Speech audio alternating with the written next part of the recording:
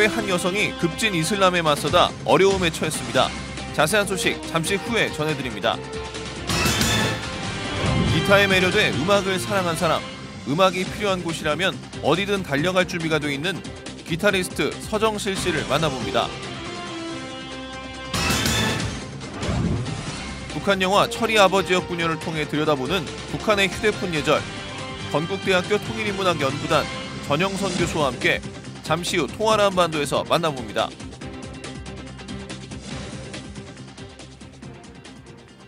안녕하십니까 민찬기 목사입니다. 최근 한 여론조사기관이 한국인의 종교의식을 조사해서 발표했는데요. 지난 30년 동안 창조론을 믿던 성도들의 비율이 80%에서 59%로 크게 줄었고 하나님 존재에 대한 믿음 역시 줄어들었다고 합니다.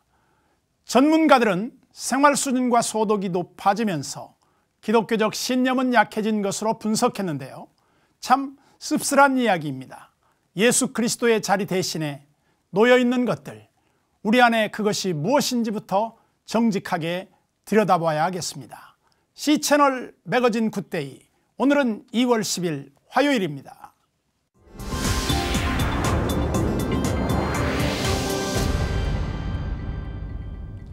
전 세계적으로 반이슬람 운동이 확산되고 있는 가운데 유럽, 특히 독일에서도 반이슬람 운동이 곳곳에서 벌어지고 있습니다. 최근 독일의 한 여성이 반이슬람을 외치다 반발에 처했던 일이 있었는데요. 자세한 내용 지금부터 전해드리겠습니다.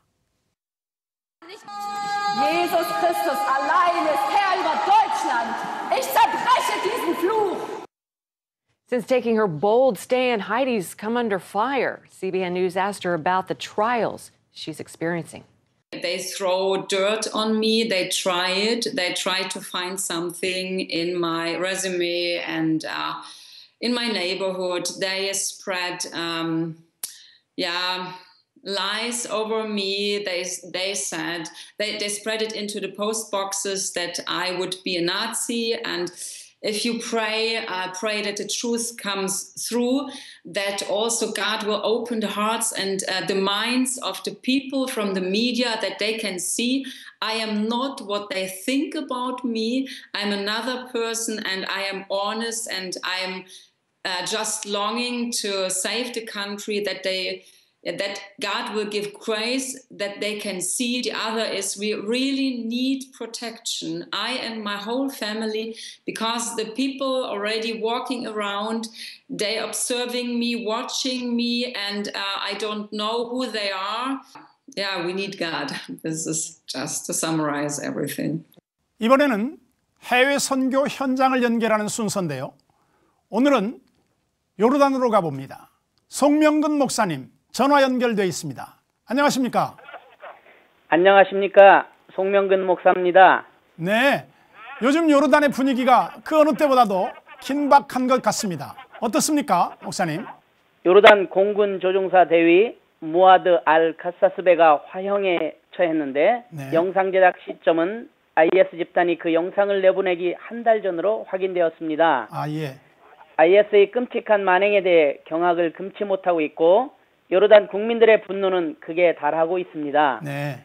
수도 암만을 비롯 여러 도시에서 대규모 IS 규탄 시위에 라니아 왕비를 비롯 많은 시민단체들이 동참하고 있습니다. 네.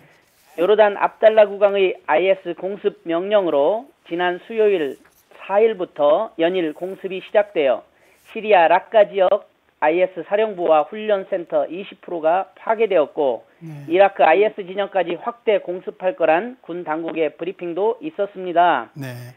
이번 요르단 공습으로 미국인 인질도 사망했다는 IS 측 주장의 기사도 보도되고 있고요. 네. 요르단 국영 TV는 IS 테러 집단에 대한 시민들의 분노하는 인터뷰 영상과 요르단 전투기가 IS 진영을 폭격하는 영상을 반복해 내보내면서 반드시 복수하겠다는 국가적 결의를 보여주고 있습니다. 네. 압달라 2세 국왕의 리더십을 믿고 충성을 다하겠다는 국민들의 단합된 모습도 내보내고 있습니다. 복수에 복수를 거듭하게 되는 지금의 상황.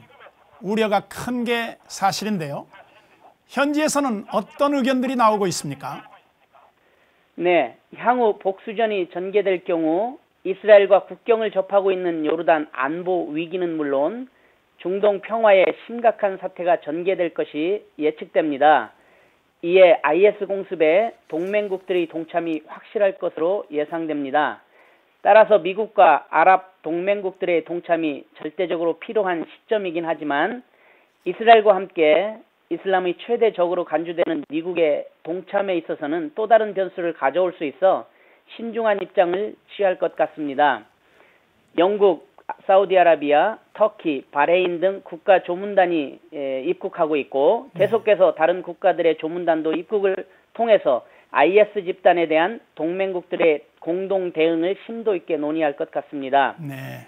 아랍, 아랍 동맹국인 아랍에미레이트가 F-16기 전투기 수십 대 파견함으로써 다른 동맹국들의 공동 대응에 대한 신호탄이 될 것입니다.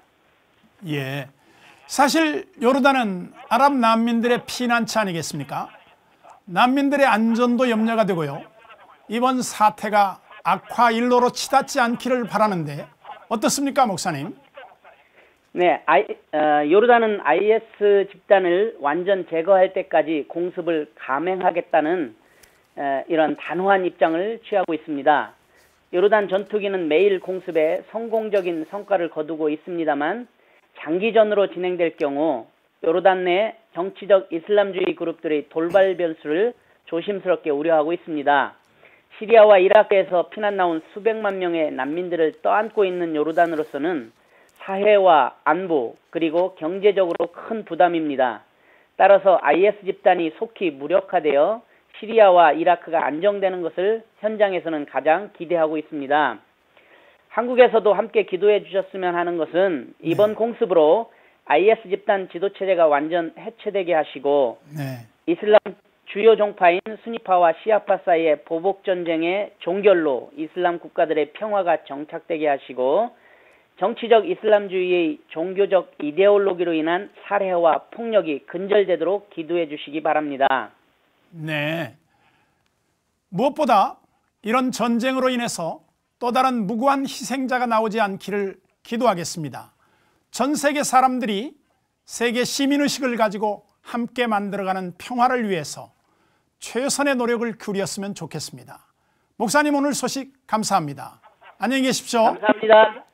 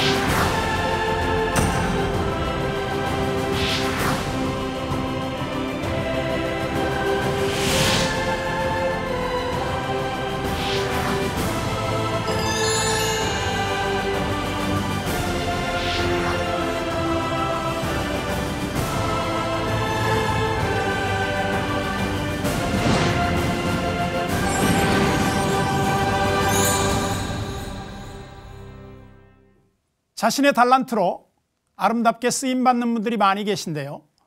오늘 테마 인터뷰 그레이스에서 만날 분은 기타를 연주하고 가르치면서 무대 위에 희망을 만들어내고 있는 분인데요. 기타리스트 서정실 집사님 지금부터 만나보겠습니다.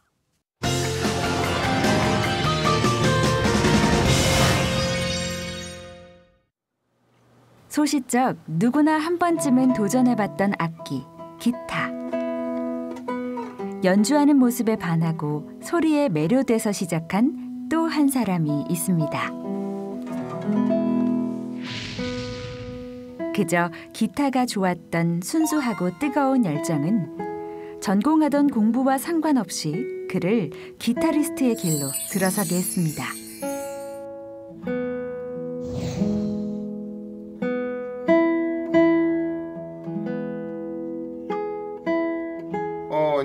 전 이제 연세대학교 화학공학과를 들어갔는데 클래식 기타 동아리를 또 들어가서 이제 기타를 열심히 치기도 했지만 3학년이 됐는데 음, 3학년 되면 이제 공대 공부가 갑자기 제대로 된 전공이 시작이 되더라고요.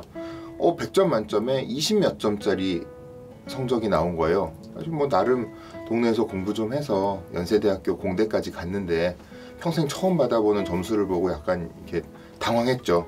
근데 이제 그러면서 이제 좀 스스로를 생각을 해보게 됐는데 그 학생들이 이제 학원과 공부를 가지고 그러고 있는 동안에 저는 동아리 활동한다고 막 음악도 찾아 듣고 악보 찾고 뭐 주법도 연구하고 또 이제 뭐 음악이 더 궁금하면은 음대 수업도 가서 찾아 듣고 막 남들이 안 듣는 그런 걸 하고 있더라고요. 그러니까 아 내가 오히려 더 흥미가 있어하고 끝까지 추구하고 싶은 게 아, 기타와 음악이구나 화학공학보다는 이런 걸 깨닫게 되었습니다. 무작정 좋았던 음악. 그에게 기타 연주란 여섯 줄의 선율에 마음을 조율하는 것이었습니다. 그러다가 만났던 자신의 인생 중 가장 슬픈 악장. 저희 이제 아내가 한 10, 10 년 전에 유방암으로 이제 판정을 받았어요. 진단을 받았는데 처음에는 이제 그리 크지 않다라고 이제 수술을 시작을 했는데 막상 이제 수술을 한 번 하고 나니까 사실은 첫 번째 수술하고 퇴원을 했었는데 다시 이제 그 주변 조직 검사를 한 거에서 조금 이게 발견이 된다. 그래서 수술을 다시 해야 되겠다. 그래서 다시 병원을 들어가서 또 수술을 하고 그리고 또 다시 그 주변 조직 검사를 했는데 또 발견이 된다. 그래서 결국 세 번을 수술을 했어요. 한 달 새 세 번을 유방암 수술을 했는데 이제 나중에 이제 저희 아내가 이제 저한테 얘기를 하는데 그때 자기가 진짜로 간절히 기도를 하면서 침상에 누워서 만약에 이번에 무사히 다시 수술 마취해서 깨어나게 해주시면은 이제 앞으로 인생은 제가 하나님 보시기에 좋은 일을 더 하겠습니다. 간절하게 기도를 했다고 하더라고요. 그래서 이제 그때 어찌 보면은 저희의 삶의 방향이 기준으로 삼는 것, 기반으로 삼는 것에 변화가 있었다고 할 수 있죠. 인생의 변화. 그것은 어떻게 살 것인가의 문제였고 그 답은 자신의 음악을 통해 이웃들의 아픔을 치유하는 일에서 찾을 수 있었습니다. 사실은 어떤 것을 이용해서라도 우리가 아이들의 정서가 중요하다.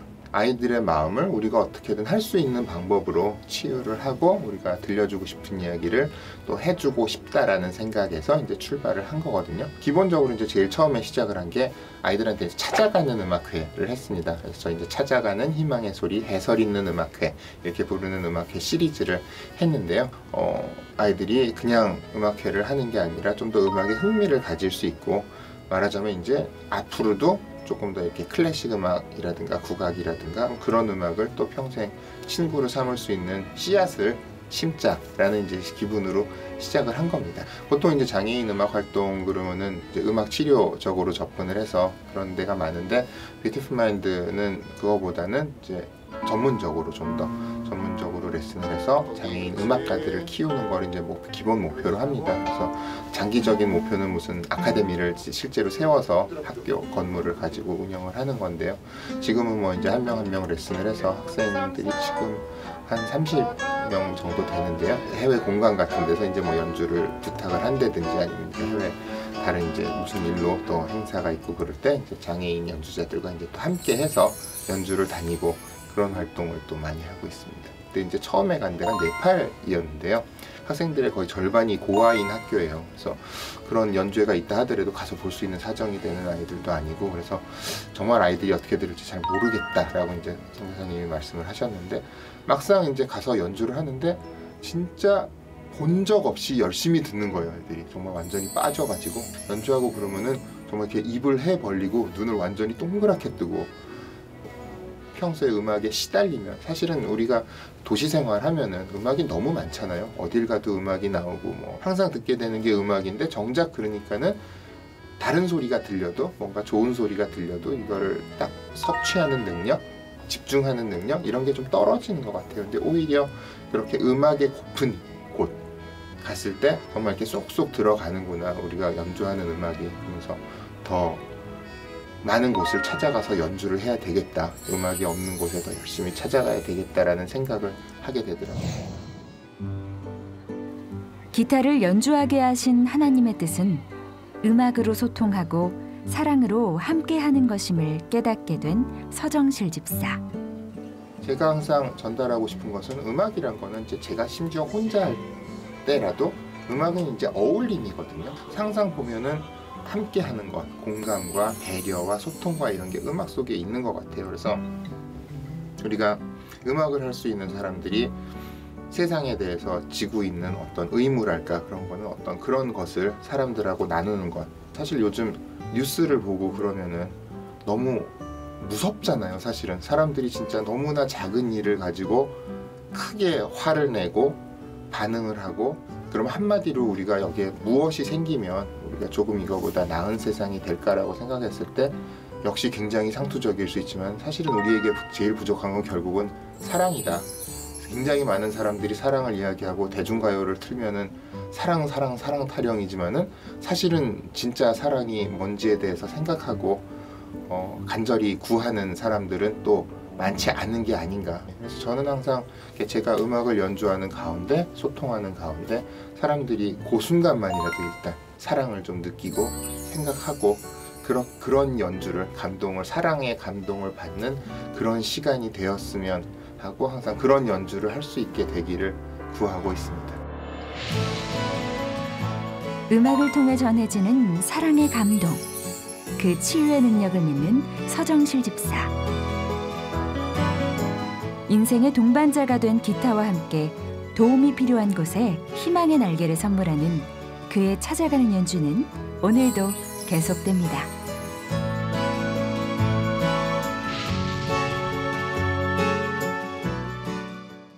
어려운 일들을 통해서 더욱 하나님의 사랑을 전하고 있는 서정실 집사님의 삶이 참 아름답습니다. 특별히 장애인 제자들을 연주자로 세우는 꿈을 갖고 계신데요.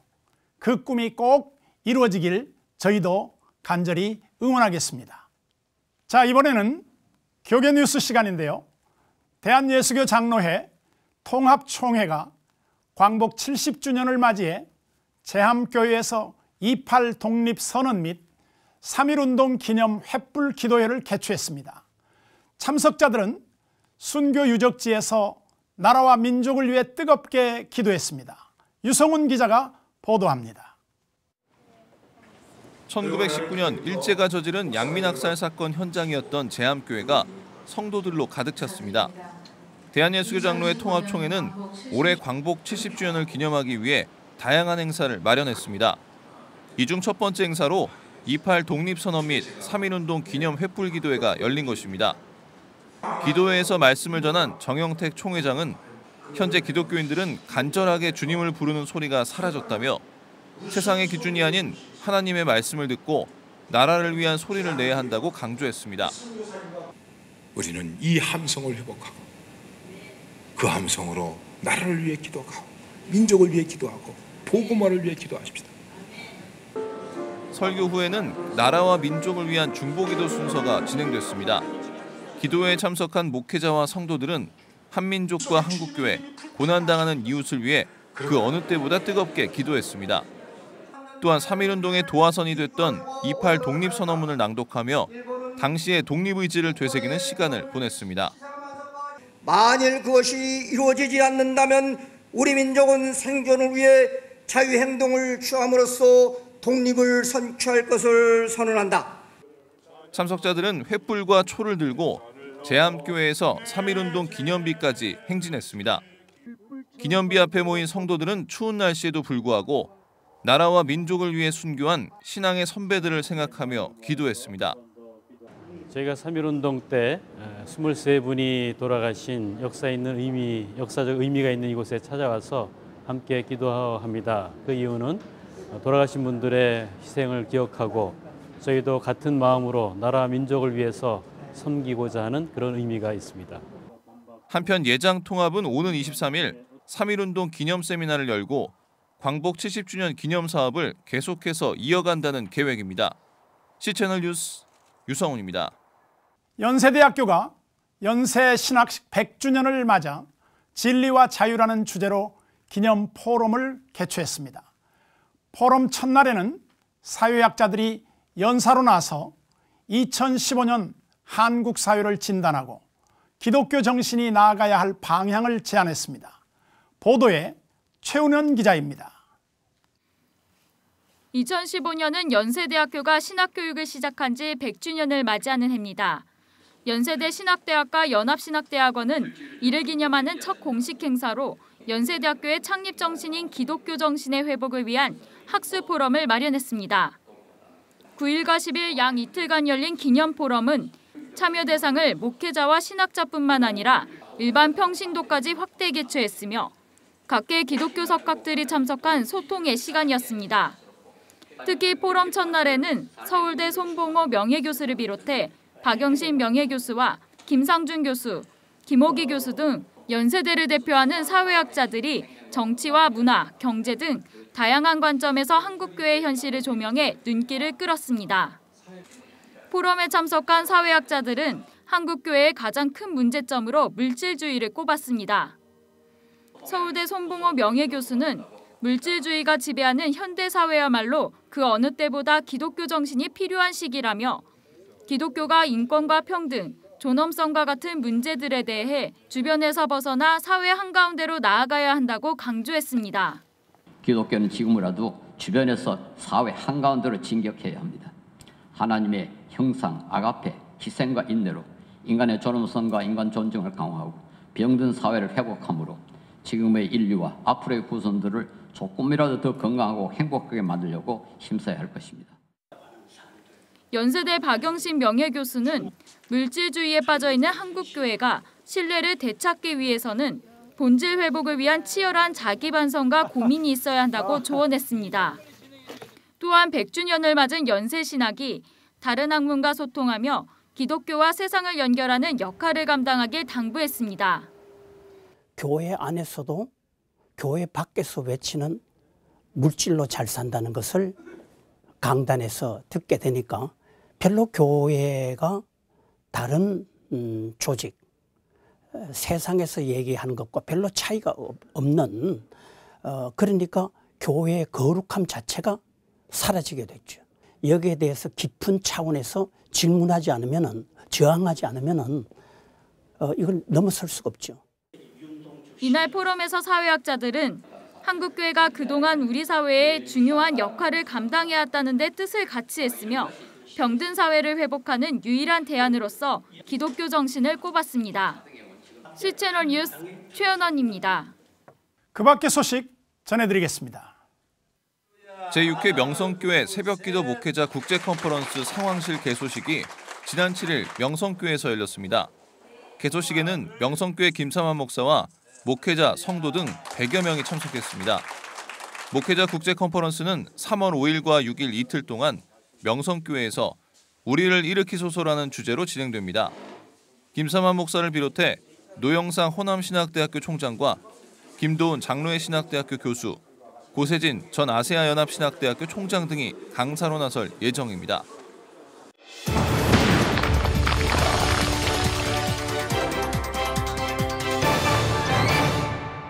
매주 이 시간 통하라 한반도에서는 북한 영화를 통해 북한의 생활 문화를 알아보고 있습니다. 지난 시간에 이어서 오늘도 건국대학교 통일인문학연구단 전영선 교수와 함께합니다. 교수님 안녕하십니까? 만나서 반갑습니다. 네, 안녕하십니까? 건국대학교 통일인문학연구단의 전영선입니다. 지난 시간부터 북한 드라마를 통해 네. 북한 주민의 일상을 만나보는 시간을 갖고 있는데요. 오늘은 어떤 이야기를 들려주시겠습니까? 네, 북한 일상에 대한 실질적인 첫 번째 시간이 될 것 같은데요. 네. 오늘 이 시간에는 북한 드라마 철이 아버지였군요라는 작품을 소개할까 합니다. 북한에서도 TV 드라마가 제작되는가요? 아, 네, 그렇습니다. 북한에서도 이제 조선중앙 텔레비전 방송국이 있고요. 그 방송국을 통해서 텔레비전 드라마가 제작이 되고 있습니다. 아, 오늘 소개해 드릴 영화도 바로 이 텔레비전극 창작단에서 제작한 단편 드라마이고요. 길이는 10분 정도 되는 토막극입니다. 네. 보통 이제 토막극이라고 하면 굉장히 짧은 단막극 형태를 얘기를 하고 있는데요. 어떻게 보면 이제 드라마라고 보기도 조금 시간이 짧은 그러니까 교양 홍보물이라고 보시면 될 것 같습니다. 네. 2012년 이제 6월에 방영이 되었었고요. 어, 뭐 북한 같은 경우에는 대체로 이 드라마라는 게 길이가 그렇게 길지 않습니다. 물론 아주 예외적으로 보면 이제 개월향이라고 하는 역사 드라마 같은 긴 드라마도 있지만은 대부분의 경우에는 이제 10부작 이내, 특히 이제 1, 2부작 정도가 아, 북한 일반적인 드라마 길이고요. 어, 오늘 이제 말씀드릴 그 철이 아버지였군요 같은 경우에도 보면 이제 어, 10분 정도의 토막극인데 이런 형태의 어, 특정한 주제를 담은 토막극들이 많이 있습니다. 어, 이렇게 그 방송을 만든 텔레비전극 창작단은 우리에게는 아직 많이 알려지진 않았지만은 북한에서 유일한 예, 드라마 제작 어, 집단이라고 보시면 될 것 같습니다. 어떤 주제로 만들어진 작품인가요? 보통 이제 북한에서 만들어진 모든 영화나 드라마 같은 경우에는 이제 분명한 주제 의식을 좀 가지고 있는데요. 이 철이 아버지였군요라고 하는 것은 북한의 어, 휴대전화, 북한식으로 표현하면 이제 손전화가 되겠는데요. 이렇게 휴대전화를 어, 예의 있게 사용하자라는 이제 주제를 담고 있습니다. 뭐 북한 같은 경우에는 이제 이 드라마라는 것이 오락적인 목적보다는 이제 분명한 교양 목적을 가지고 인민들을 교양시키려고 하는 이제 목적성이 분명한 경우가 대부분인데요. 이런 영화를 통해서 휴대전화 사용을 잘 하자라는 주제를 교양시키는 목적에서 만들어졌습니다. 네. 줄거리도 좀 소개해 주시죠. 뭐 드라마는 이제 휴대전화를 잘못 사용해서 망신당하는 남자 이야기를 중심으로 하고 있는데요. 뭐 드라마 이제 여러 사람이 함께 타고 가는 이제 버스 안으로부터 시작을 합니다. 뭐 모니터를 보시면 아시겠지만은 이렇게 여러 사람들이 있었고요. 젊은 여인도 있었고 아이를 안고 가는 이제 주부도 있었고요. 노인 부부도 있었는데 우아하게 이제 저, 어, 휴대 신호음이 열리자 어떤 여인이 전화를 받습니다. 아, 그래서 제가 지금 버스 아니라 통화를 할 수가 없으니까 내려서 인차 이제 북한식으로 표현하면 이제 금방 전화를 하겠습니다라고 전화를 이제 끊습니다.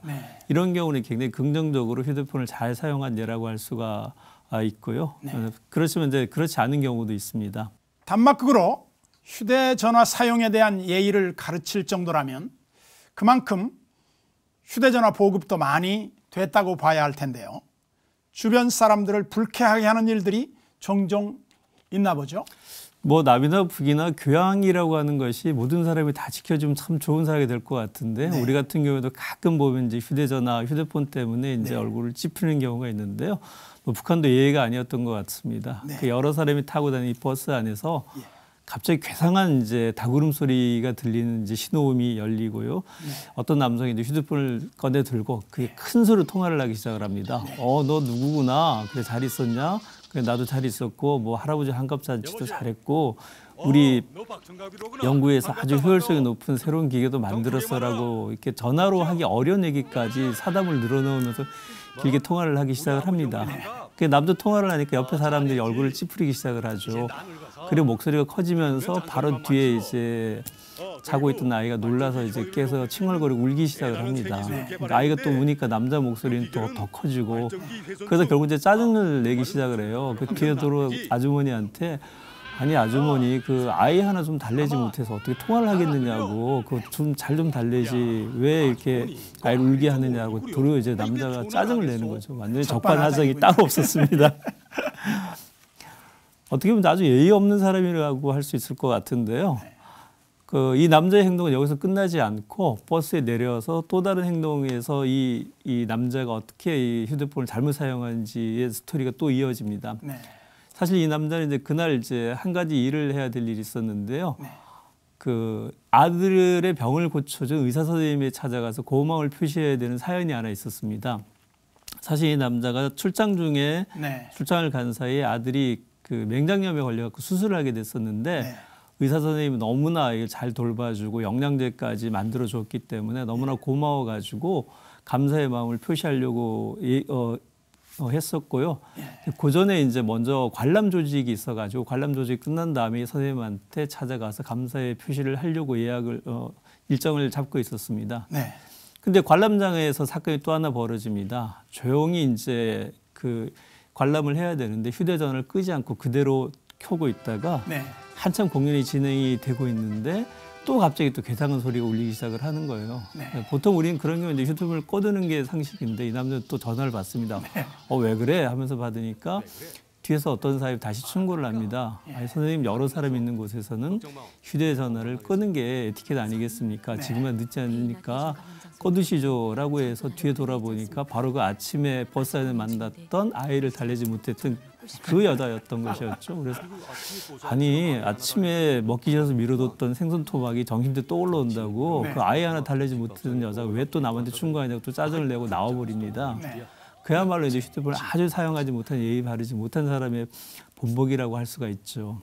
예, 아주 예의가 없는 사람이군요. 네 그렇습니다. 그래서 어떻게 됐나요? 그 남자는 당연히 이제 사과를 해야 됨에도 불구하고 사과를 하지 않고 자기 볼일만 보고 이제 나옵니다. 그리고 다시 이제 그 의사 선생님하고 통화를 하죠. 전화 받아뒀던 아들의 담당 의사 선생님 통화를 해가지고 아 제가 이제 그 처리 환자의 아버지인데 선생님이 우리 아들을 잘 살펴줘가지고 제가 꼭 인사를 하고 싶습니다라고 얘기를 했으니까 저쪽에서 이제 전화를 뭐 받습니다. 아니 뭐. 의사 선생님으로 마땅히 해야, 해야 될 일을 했기 때문에 뭐 그때 찾을 필요 없고 오늘 또 집안에 일이 있습니다. 안 오셔도 괜찮습니다라고 완곡하게 이제 거절을 합니다. 그래서 이제 진짜 집에 일이 있으니까 오지 말라는 뜻을 의사를 표현한 것이었죠. 네. 근데 남자 생각은 좀 달랐습니다. 왜냐하면 이제 아직 아들 처리가 완전히 완쾌된 것이 아니었었기 때문에 아, 이 팀에 잘 보이면은 우리 아들 치를 좀 더 잘해주지 않을까라는 생각을 가지고 선물을 사서 사가지고 좋은 점수를 따야겠다는 마음으로 이 여자 선생님의 집을 알고 찾아갑니다. 네.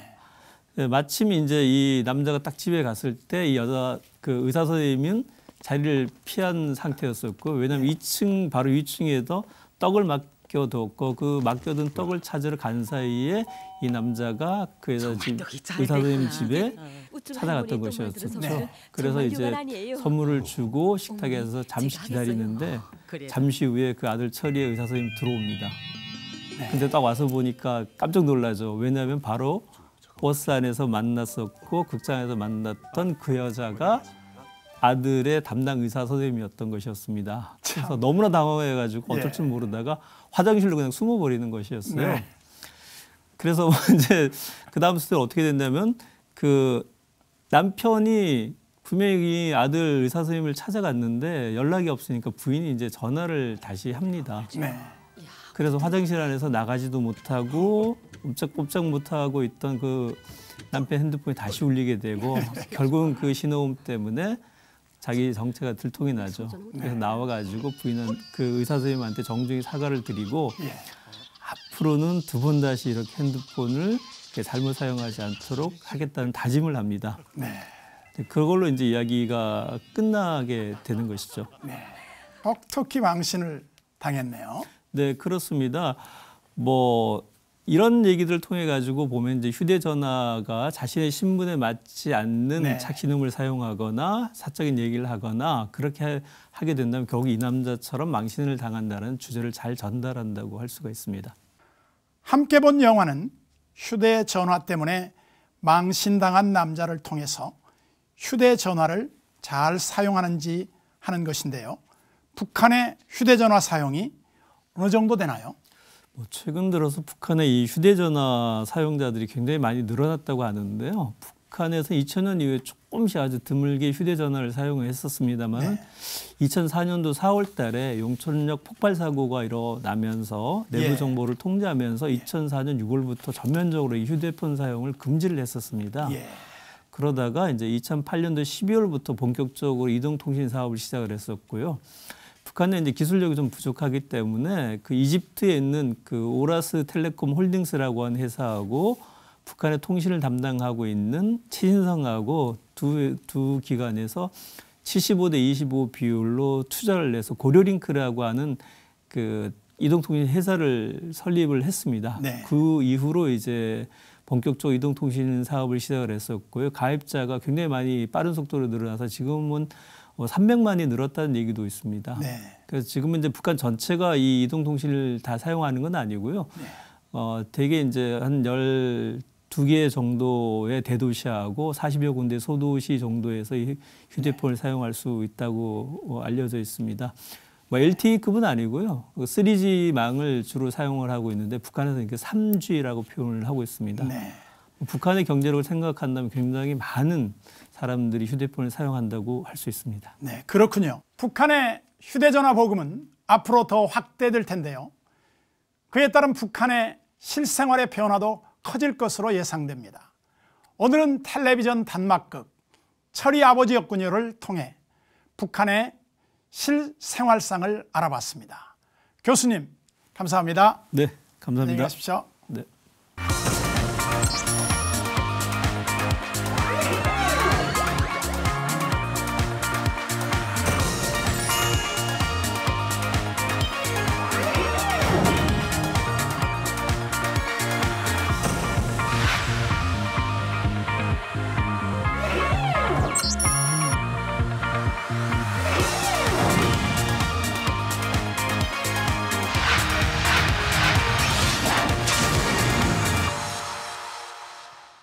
C채널 매거진 굿데이는 여러분과 함께 만들어가는 방송입니다.